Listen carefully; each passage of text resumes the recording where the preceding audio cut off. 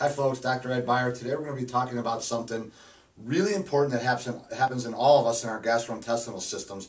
And I want to kind of discuss it at length a little bit so you have a really good understanding. And that is the production of short chain fatty acids. These are produced in our, in our GI, in our gastrointestinal system, by the fermentation of dietary fiber that we eat in our diets by the gut flora, by the bacteria that are in our gut.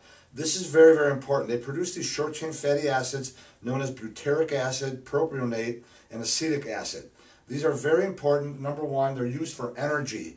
The butyric acid is used for energy for the cells in our colon so that they can regenerate. Our cells are constantly dying and being replaced in our gut, and that's really important that we have butyric acid or this short chain fatty acid for that. It's also used to repair our gut lining. Every time we eat, there's some trauma caused to our gastrointestinal system, like scratching your skin. Every time you scratch your skin, we're killing skin cells and they need to be replaced. Same thing with eating, we're kind of irritating our gut lining, and so the cells are constantly turning over, and we need these short chain fatty acids for that.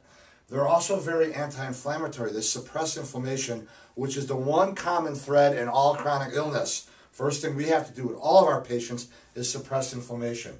They are anti carcinogenic Short chain fatty acids suppress cancer, and they're very important for immune regulation. In our immune system, we have these cells called T regulatory lymphocytes. These T regulatory lymphocytes keep our immune system balanced, and they need short chain fatty acids to work properly.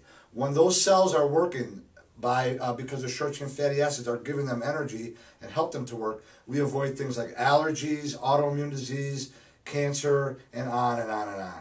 So this is something that we look at in our lab testing. We use Great Plains Lab at, the current moment, and they actually test for this and they test our patients' levels, and we know whether or not they're appropriate or not. I'm Dr. Beyer. I hope that helps. Have a great day.